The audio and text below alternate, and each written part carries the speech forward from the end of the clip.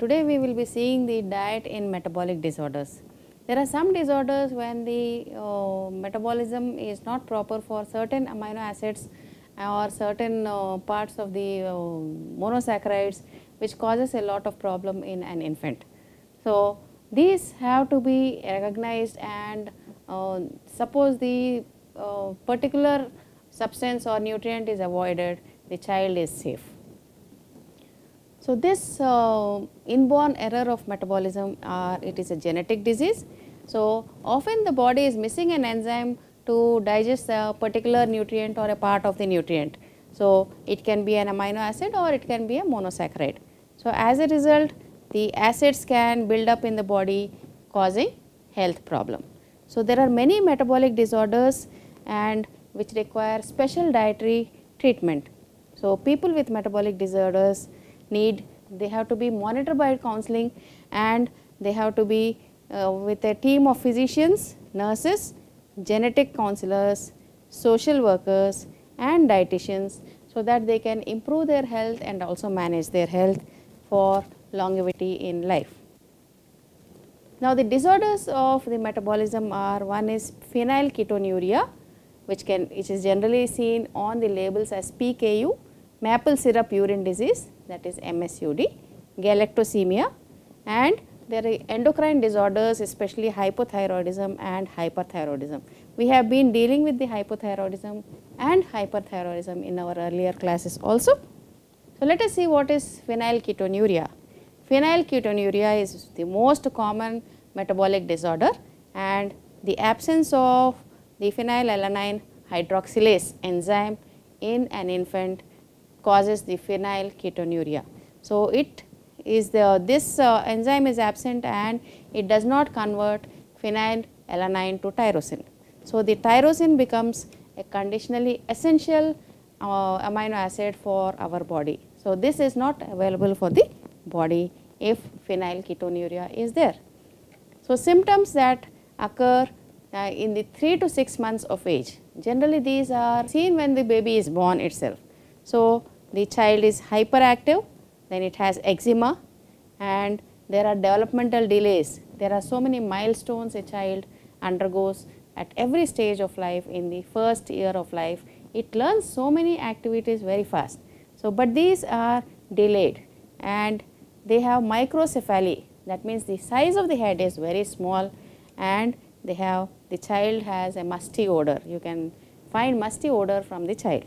So, this results in abnormal electroencephalogram. That means, when you test the brain activity, there is an abnormal encephalogram found in the baby.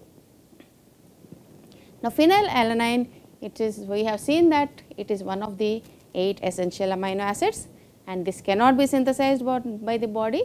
So, we have to provide the phenylalanine through food. So, how to manage this phenylketonuria? There should be dietary restriction of the phenylalanine containing food. Anyhow, this is not synthesized in the body. So, it should not be given from the food. Then it can be controlled by low phenylalanine diet and the levels of phenylalanine in the blood should be monitored and insufficient amounts in the um, blood leads to brain damage. Now, essential requirement must be ingested every day because it is an essential amino acid unless phenylalanine is there growth will not occur properly. So, limited amount whatever is required by the body should be supplied to the body and care must also be taken to avoid the sweetener aspartame. Aspartame is a substance which is which acts as a sweetener and this contains uh, phenylalanine in it. So, this aspartame is added to many of the pediatric medicines. So, whenever uh, pediatric medicine is uh, given the label should be seen and see if it contains aspartame then it should be avoided. Then human milk has low phenylalanine and compared to cow's milk. Therefore, it should be uh, given as a protein substitute for infant. Then you assess the kilocalorie and protein intake or needs of the baby and allow much protein as possible for adequate growth. Unless protein is there, there is no growth. And infancy is the period where the highest growth in the life occurs. So, you can give them from protein, vegetables and limited amount of grains. So, balance should be provided by the, uh, the metabolic formulas. These children get very different formulas for feeding them. And there is growth retardation, so you have to uh, initiate the growth in the baby. The bone status also is affected. Then uh, the child can find many amino acid deficiency. So, if you over restrict the protein also, then the growth is hampered and growth does not happen normally. And so, metabolic control should start during pregnancy.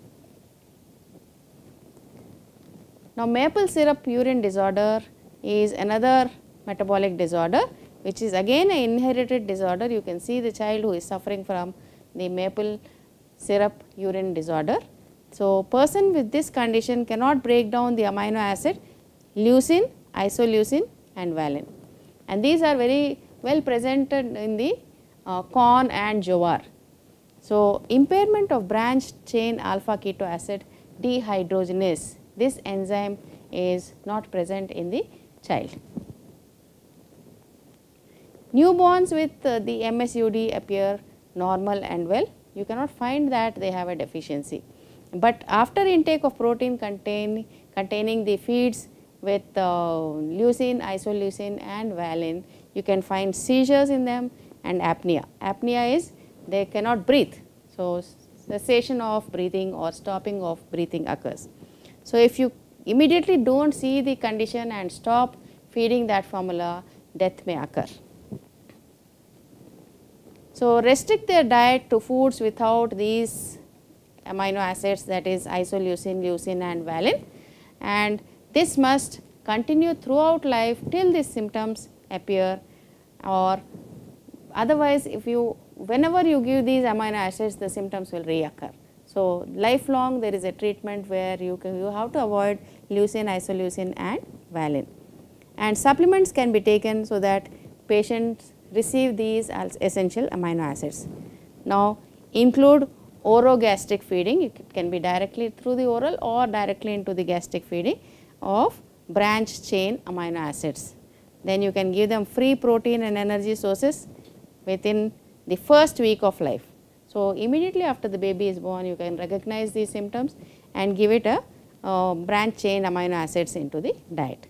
Then provide other nutrients that are optimal for growth. Only the uh, leucine, isoleucine and valine are restricted, but other nutrients can be given as normal. Now, galactosemia is another metabolic disorder.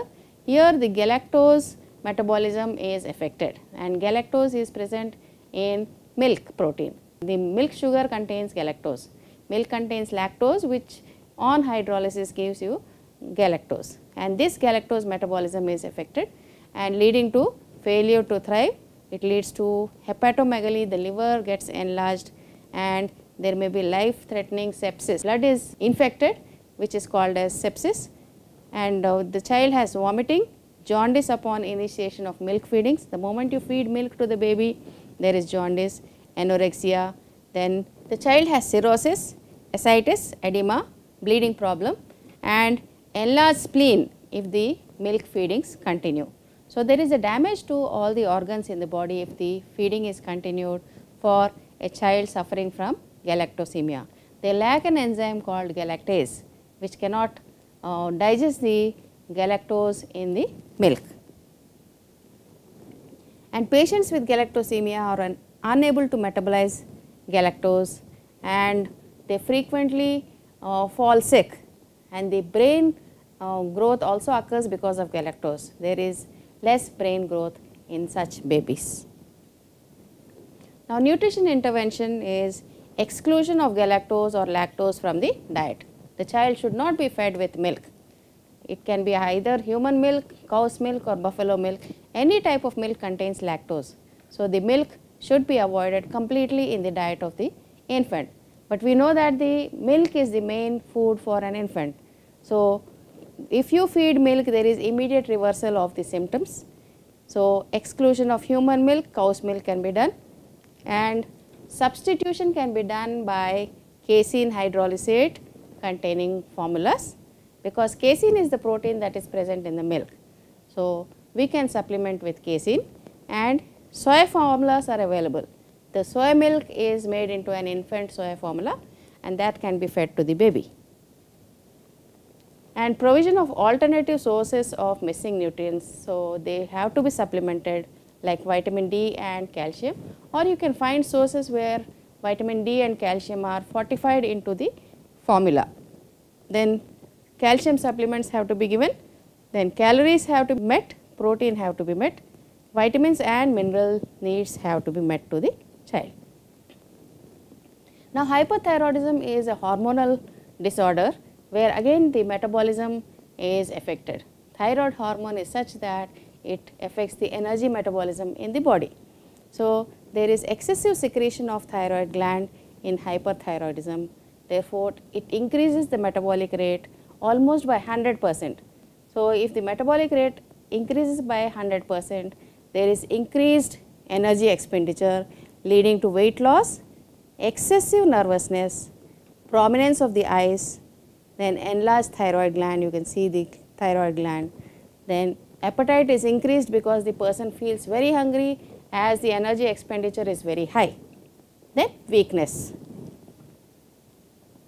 Now, modification of diet can be the person has to be given since the metabolism increases by 100 percent you have to give the double the quantity of energy to the patient. So, 4000 to 5000 kilocalories per day is the requirement for a hypothyroid patient. Then protein diet also has to be given more because there is lot of muscle wastage, the energy is being utilized. So, protein reserves also are utilized for energy. Now, you give them 100 to 125 grams of protein and include snacks between meals because this high amount of calorie and protein cannot be consumed in 3 large meals. You have to include more number of meals. So, you can give in the form of snacks and fluids in between meals. Then multivitamin mineral supplements are often given and caffeine containing foods can be avoided because they hinder the absorption of certain nutrients. Now, hypothyroidism is where the production of thyroid hormone is decreased. So, this condition is called as myxedema and when the metabolism is decreased, it is almost decreased by 50 percent of the normal metabolism. So, what happens is the whatever energy intake is there by the individual, it becomes excess. Therefore, the energy requirement becomes very less for an individual, but at the same time we cannot give low energy foods because the individual will become weak. So, we have to see the symptoms like muscle flabbiness occurs, puffy face and eyelids and hands become puffy, then sensitivity to cold, they cannot tolerate either hot or cold climates. Personality changes to apathy and dullness. Because the personality changes like this, they lose interest in their surroundings and they become very dull. Obesity becomes a problem since the energy metabolism has reduced. So, some patients lose their appetite also. The appetite becomes very poor and so as a result undernutrition results. And increased dietary fiber has to be given to such patients because constipation becomes a problem as there is sluggish peristaltic movement also in the gastrointestinal system. Now, a calorie restricted diet helps the obese patients to come back to their normal uh, body weight. Therefore, these metabolic disorders have to be recognized early and the patient has to be given accordingly what type of diet he has to give and treat the patient. Otherwise, all these disorders may become fatal. Thank you.